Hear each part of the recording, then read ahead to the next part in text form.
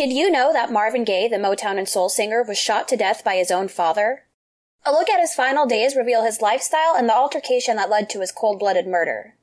Listen to the full story from Broken Limelight, a celebrity true crime podcast. Find us on brokenlimelight.com or wherever you listen to podcasts.